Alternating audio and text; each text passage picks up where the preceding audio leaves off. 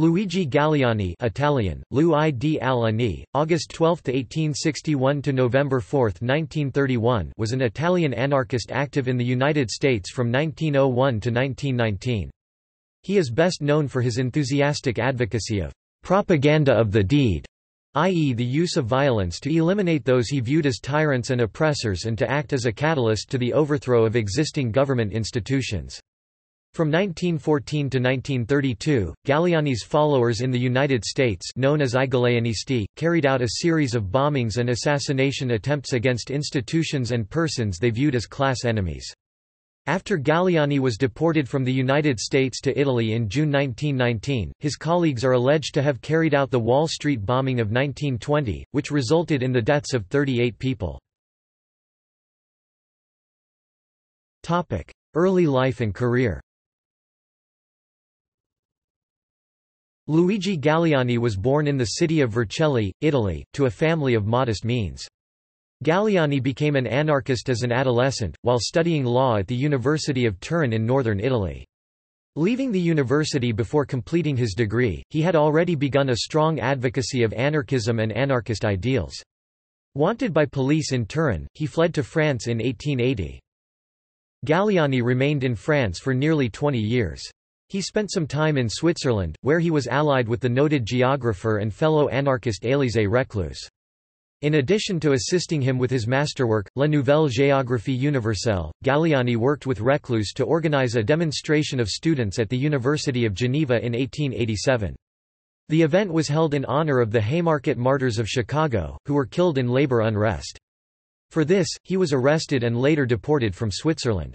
Moving to France, Galleani was deported from that country a few years later.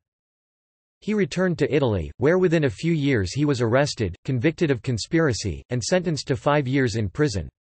Beginning in 1894, when he was 33 years old, he spent more than five years in prison and internal exile domicilio coatto, mostly on the island of Pantelleria off the coast of Sicily. On Pantelleria, he met and married Maria, who already had a young son, Salvatore. Luigi and Maria Galleani eventually had four children of their own. Escaping from Pantelleria in 1900, Galleani fled to Egypt. It had a large Italian expatriate community, and he stayed with fellow anarchists for several months. Notified by the Egyptian authorities that they would soon begin proceedings to extradite him to Italy, Galleani abruptly left Egypt and went to London via ship. He then emigrated to the United States, arriving in 1901. Life in the United States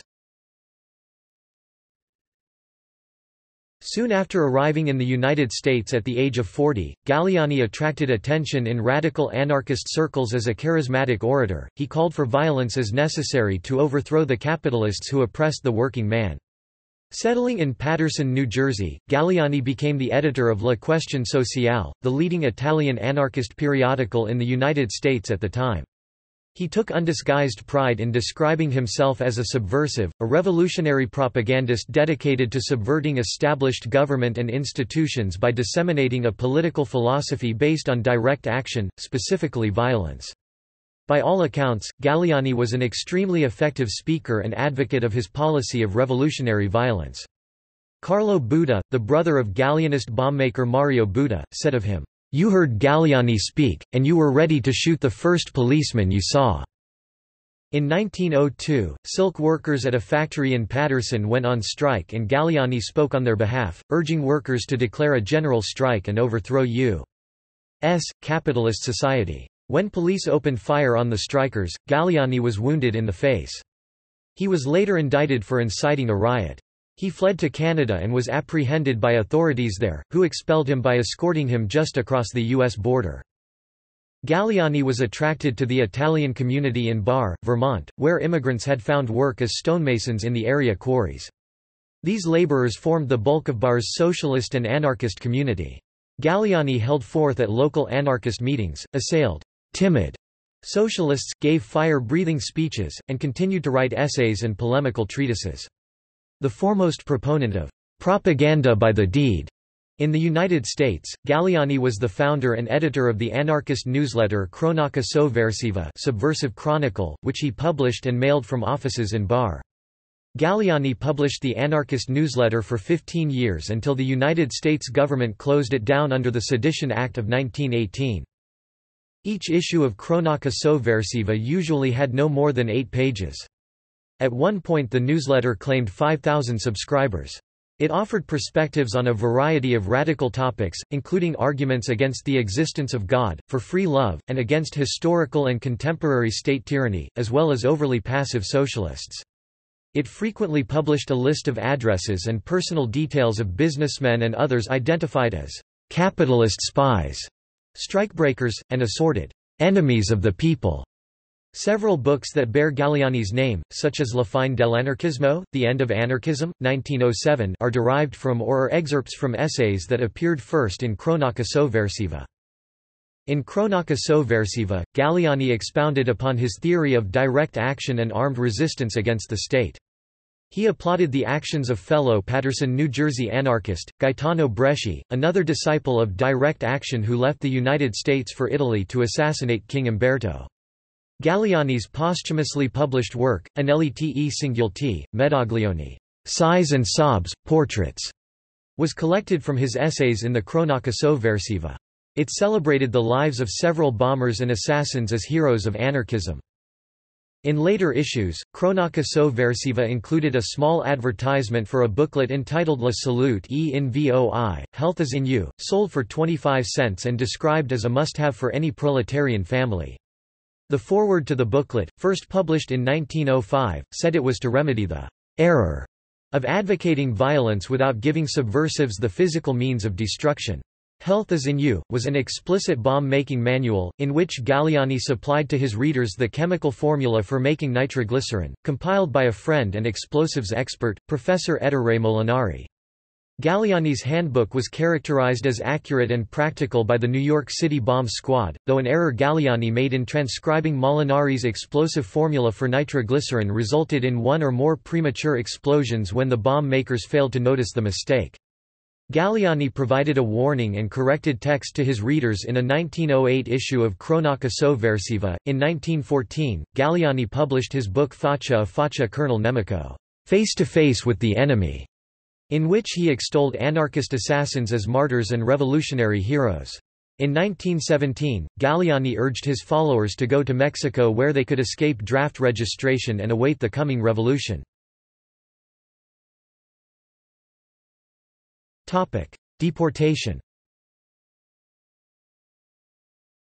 The United States deported Luigi Galleani and eight of his adherents to Italy in June 1919, three weeks after the June second wave of bombings initiated by the Galleanisti, but not because of any connection to those bombings. Authorities identified him as a resident alien who had advocated the violent overthrow of the government and authored a bomb-making manual. After landing in Italy, Galleani returned to publishing Cronaca Sovversiva. After Mussolini came to power in 1922, the anarchist was charged with sedition and sentenced to 14 months in prison. He was re-arrested in 1926, and sent again to the island of Pantelleria, then the island of Lipari, and finally to Messina. Later he was allowed to return to the Italian mainland, where he lived in the village of Caprigliola but the police surveillance continued. Galleani died of a heart attack at age 70 on November 4, 1931. Galleanist activities Galleani attracted numerous radical friends and or followers known as Galleanisti, including Franca Barno, Gabriella Segata Antolini, Pietro Angelo, Luigi Bicchetti, Mario Buda also known as Mike Boda, Carmen Carbone, Andrea Ciofalo, Ferruccio Coacci, Emilio Coda, Alfredo Conti, Nestor Dondoglio also known as Gene Crones, Roberto Elia, Luigi Falzini, Frank Mandiz, Riccardo Orciani, Nicola Recchi, Giuseppe Saberna, Andrea Salsedo, Raffaele Schiavina, Carlo Valdinoci, and, most notably, Nicola Sacco and Bartolomeo Vanzetti. Galleani and his group promoted radical anarchism by speeches, newsletters, labor agitation, political protests, secret meetings, and, above all, direct action. Many used bombs and other violent means to promote their political position, practices that Galleani actively encouraged but in which he apparently did not participate, except for writing the bomb-making manual La Salute e in Voi. Historians believe that Galleani's followers began their bombing attacks in 1914. Galleanists were involved in at least two bombings in New York after police forcibly dispersed a protest at John D. Rockefeller's home in Tarrytown. Over the next several months, bombings took place at several New York City sites, including police stations, churches, and courthouses. On November 14, 1914, a bomb was placed in the Tombs Police Court, under the chair of Magistrate Campbell, who had sentenced an anarchist for inciting to riot. In January 1915, police uncovered a plot to blow up St. Patrick's Cathedral in New York, and a copy of La Salute en Voi, was found at a suspect's house.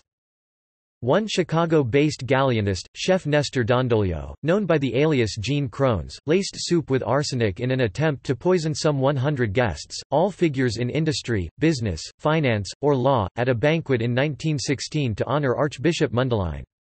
J. B. Murphy, a doctor among the guests, furnished a hastily prepared emetic that induced vomiting. None of the guests died, though many suffered greatly. Police discovered many vials of poison when they searched Dondoglio's rooms, but never apprehended him. Dondoglio left a series of taunts for the police, then fled to the East Coast. He survived in abject poverty, hidden in the homes of other Galleanists, until his death in 1932. On December 6, 1916, the Galleanist Alfonso Fagotti was arrested for stabbing a policeman during a riot in Boston's North Square. The next day Galleanists exploded a bomb at the Salutation Street station of the Boston Harbor Police. Fagotti was convicted, imprisoned, and later deported to Italy. Some historians have also suspected the Galleanists of perpetrating the Preparedness Day bombing in San Francisco on July 22, 1916. No known Galleanists were among those indicted for the attack, but the time bomb's design and construction, a cast steel pipe packed with explosives, a timing mechanism, and metal slugs designed to act as shrapnel and increase casualties, was typical of later Galleanist bombing campaigns, the work of Mario Buda in particular. Additionally, in an ominous apparent reference to the earlier mass poisoning by the Galleanist Nestor Dondoglio, San Francisco police recovered two unsigned letters urging the headwaiter at the St. Francis Hotel to poison soup served to Police Commissioner James Woods, one of the organizers of the Preparedness Day March. It is notable that bombings attributable to anarchists largely ceased in the United States in the first part of 1917, when many Galleanists heeded Galleani's advice to avoid draft registration by relocating to Mexico. Most members returned to the U.S. late that year. Mario Buda is thought to have constructed the large black powder bomb with an acid delay detonator that exploded on November 24, 1917 at a Milwaukee police station. Patrolmen had taken it there after its discovery in a church basement. The blast killed nine policemen and a female civilian, one of the worst incidents of terrorist violence in the United States up to that time.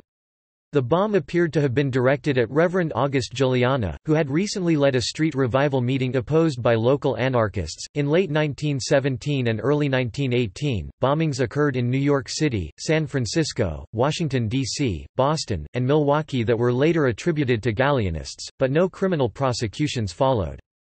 In February 1918, U.S. authorities raided the offices of Cronaca Sovversiva, suppressed publication, and arrested its editors. Although a staff member hid the subscription list, officials gained more than 3,000 names and addresses of subscribers from an issue already prepared for mailing. On January 17, 1918, a 19-year-old Galleanist, Gabriella Segata Antolini, was arrested for transporting a satchel filled with dynamite, which she had received from Carlo Valdinoci. When questioned, Antolini gave a false name and refused to cooperate with the police. She was imprisoned for 14 months before being released. While in prison, Antolini met the noted anarchist Emma Goldman, with whom she became friends. On December 30, 1918, the Philadelphia, Pennsylvania homes of the President of the Chamber of Commerce, the acting Superintendent of Police, William B. Mills, and Judge Robert von Moschzisker were heavily damaged by explosive bombs filled with metal slugs, an act later attributed to the Galleanist group. A woman standing across the street from Superintendent Mills' home was struck above the eye by a metal slug. At each site leaflets were scattered denouncing the priests, the exploiters, the judges and police, and the soldiers, whose time was coming to an end. On February 27, 1919, Galleani spoke to an anarchist gathering in Taunton, Massachusetts. The next night four Galleanists who had attended the rally attempted to place a bomb at the American Woolen Co. mill in nearby Franklin, whose workers were on strike. The bomb exploded prematurely, killing all four of the men. In response to the violence and social unrest, in October 1918, Congress passed the Immigration Act of 1918, a law that expanded the list of activities that defined someone as an anarchist and justified deportation. In turn, Galleani and his followers distributed a flyer in February 1919 that said, Deportation will not stop the storm from reaching these shores. The storm is within and very soon will leap and crash and annihilate you in blood and fire. We will dynamite you. A series of bombings of prominent businessmen and officials followed, including a bomb at the home of Judge von Moschzisker, who in 1908 had sentenced four Italian anarchists to long prison terms. In late April 1919, approximately 36 dynamite package bombs, all with identical packaging and addressed to a cross-section of politicians, justice officials, and businessmen, including John D. Rockefeller, were sent through the mail. An early lead to the identity of the bombers was revealed when one package bomb was found addressed to a Bureau of Investigation boy field agent, Rayme Weston Finch. Finch had been tracking several Galleanists, including Carlo Valdinoci, and the agent's successes, such as leading the raid on Cronaca Sovversiva and his arrest of Raffaele Schiavina and Andrea Ciofalo, were well known to Galleanist militants. The Galleanists intended their bombs to be delivered on May Day, the International Day of Communist, Anarchist, and Socialist Revolutionary Solidarity. Only a few of the packages were delivered. Because the plotters had neglected to add sufficient postage, one of the packages was discovered, and its distinctive markings enabled the interception of most of them. No one was killed by the mail bombs that were delivered, but a black housekeeper, Ethel Williams, had her hands blown off when she opened a package sent to the home of Senator Thomas W. Hardwick, a sponsor of the Immigration Act of 1918. In June 1919, the Galleanists managed to explode eight large bombs nearly simultaneously in several different U.S. cities. Targets included the homes of judges, businessmen, a mayor, an immigration inspector, and a church. The new bombs used up to 25 pounds of dynamite packed with metal slugs to act as shrapnel, all contained in a cast steel pipe. Among the intended victims were politicians who had endorsed anti-sedition laws and deportation, or judges such as Charles C. Nott, who had sentenced anarchists to long prison terms. The homes of Mayor Harry L. Davis of Cleveland, Judge W. Thompson, Massachusetts State Representative Leland Powers, and Attorney General A. Mitchell Palmer, already a previous target of a Galleanist mail bomb, were attacked. None of the officials was killed, but the explosions killed William Boehner, a 70-year-old night watchman, who had stopped to investigate the package left on Judge Nott's doorstep, as well as one of the most wanted Galleanists, Carlo Valdinoci, a former editor of Cronaca Sovversiva, and a close associate of Galleani, who blew himself up as he laid a package bomb at the door of Attorney General Palmer's home. Though not injured, Palmer and his family were shaken by the blast and their house was largely destroyed. The blast hurled several neighbors from their beds. Either Valdinoci tripped over his bomb or it went off prematurely as he was placing it on Palmer's porch. The police collected his remains over a two-block area. All of the bombs were accompanied by a flyer that read, War, class war, and you were the first to wage it under the cover of the powerful institutions you call order, in the darkness of your laws. There will have to be bloodshed, we will not dodge, there will have to be murder, we will kill, because it is necessary, there will have to be destruction, we will destroy to rid the world of your tyrannical institutions. Police eventually traced a flyer accompanying the bombs to the print shop where Andrea Salsedo, a typesetter, and Roberto Elia, a compositor, were arrested. Salsedo was questioned intensively some say tortured by federal agents. After providing some information, he was said to have become increasingly distraught. He died after jumping or being pushed by his compatriot Elia out of the window in the 14th-story room where he was being held. Although Salsedo had admitted he was an anarchist and had printed the flyer, no other arrests for the bombings followed.